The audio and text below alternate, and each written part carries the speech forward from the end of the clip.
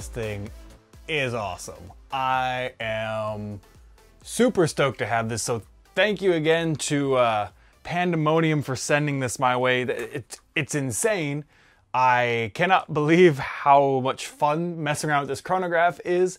Uh, I did a couple chronograph tests, uh, one of which was just with the stock Firestrike to make sure the sensors were reading properly. And uh, the cool thing is I can put the footage or the, the footage, I can put the FPS readings right there. We'll do it there. And uh, I can save because I can sync this with my phone, run it through the app, and get all the information in there, which is awesome. So after I did the Firestrike, I uh, ran my uh, one of my Stryfes through that I used at our 5v5 day, uh, our King of the Hill uh, BTA game over the weekend and got some numbers that seemed about right. It's running a 41.5 cage with Kraken motors and uh, white worker wheels. Not the high crush versions, I don't believe, but the standard worker wheels. I want to say maybe I'm wrong. It's, I can't remember exactly, but either way, worker wheels. Um, and AccuFakes. So it's running a little bit hotter than it was over the weekend when I was using men guns because those are heavier darts but uh, I didn't want to just burn a bunch of those because they're a little bit more expensive. So I, I just, I love this thing. I'm super stoked about it. I love all the little details. Like, let me, let me, let me, let me grab the phone and pull up the app and just like I can mess around with certain things in it. So like I can I can save the groups, the groupings uh, for them, and I can go through and I can look at each individual shot. And uh, you see the first shot, actually, I don't think you can see it, but the first shot was an error. And it'll show me, it'll show me each individual shot, show me the temperature outside, which is insane. And all, the, and all the standard stuff like your average FPS, the standard deviation, minimum shot, maximum shot, the spread, all of that stuff. If I wanted to measure the uh, darts per second of a, rap, uh, of a full auto blaster, it shows shot per second. So I could just shoot all the darts and it'll tell me, which is so cool. I'm sorry, just I, I love this. I can add information and, and and all that kind of stuff. It's just awesome. I uh, I, I just I can't I can't put into words how excited I am to have this. So again, thank you to Pandamonium. I can now get back to uh, testing things once I get caught up on everything, which is awesome. Um, but yeah, this just I don't know, I feel like I gush on this for, for quite a while. Um, it's a really interesting design. It's the first chronograph that I've seen that has the sensors going down. And I, am assuming this is to help uh, kind of keep things even. This has lights down here on the portions that you can light up if you're indoors or low light or something like that to help uh, keep things accurate.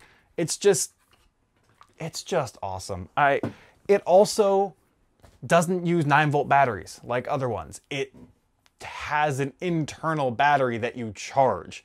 And there's a USB port that I can have uh, plugged in, I believe, to keep it running. And it should last up to like 12 hours normally or something like that with the charge, which is should be plenty for what we use it for at games. So I'm just, I'm so excited. I'm so excited. Um, yeah, I can't say thank you enough, but it's also nice that I, I won't have to go into all my videos where I'm doing an FPS test for something and record every single FPS test. I can just take the data now and show the, the data on the screen, which is fantastic, a massive time saver. You also don't, don't have to do the calculations if you didn't uh, record the thing going through all the data. Again, we're moving on because I I could go on about this forever, and I don't want to because I want you to. Uh, the, yeah. So something else I wanted to talk about today is the NG1 that was sent to me a little while back, and I uh, have had spent a little bit of time with it, and I want to talk just a little bit about it here. Um, I haven't gotten to do my full thoughts on it yet because I actually encountered a couple issues that I have uh, sent a message out to the creator to get some clarifications on and uh, kind of discuss some things and then I will share my thoughts again with you. But I feel it's important to let you know that I did encounter some issues. Um, that trigger pull that was the nicest trigger pull I've felt on a flywheel blaster, period, I think. Uh, the trigger's now stuck. So I can't, I, have to like, oh, I can't even do it now. Um, yeah, the trigger is stuck and I don't know why. It's actually Oh, you know what? Okay, well, that pushed it back. Yeah, I don't know what happened. It's like maybe a spring in here got messed up or something when I was firing it. Uh, but I'm waiting to hear back again from the creator. But that, like, the fact that you can pop this little thing up and get to the flywheels is pretty cool. Uh, flywheels are wider than flywheels we use on 130 size motors. But again, these are larger cans. They are not uh, 130, 132, 180s. They are a three, uh, 300 size, either 360 or 380. Uh, something like that, I believe. But I like that he's given quick and easy access to them. And there's other things you can do. It's all held together by little screws where if you take this screw here off, I can flip this barrel up, which is nice. So it just makes for easier teardown and maintenance, which is nice. Um, I do have some concerns over the 3D printing. Not that the quality is bad, it's actually pretty good quality for printing. Like he's even got texture on the grip here, 3D printed, and it, it feels nice. The issue is just that 3D printing is inherently not 100% smooth. So I had a dart get stuck in the barrel, I believe because it's just not smooth enough. And uh, perhaps the head of the AccuFake was too big for this barrel. Maybe it's too tight. Uh, and that may be leading to some inconsistent shots. Of course, I was going to do some FPS testing because I got the nice new Chrono setup and as soon as I went to do that is when I had the issues with the trigger. Not when I was messing around with it before or anything like that, but but of course right when I wanted to do the, the chrono testing. So uh, as soon as I get that all situated and sorted, I will be coming back to this because there are a lot of cool things about this, but there's also things that I would like uh, to potentially see adjusted or changed or altered in some ways. Uh, but still, definitely interesting, and I'm looking forward to getting it fixed and being able to try it again. Because, like I said, that trigger pull was just so nice. It was just fantastic.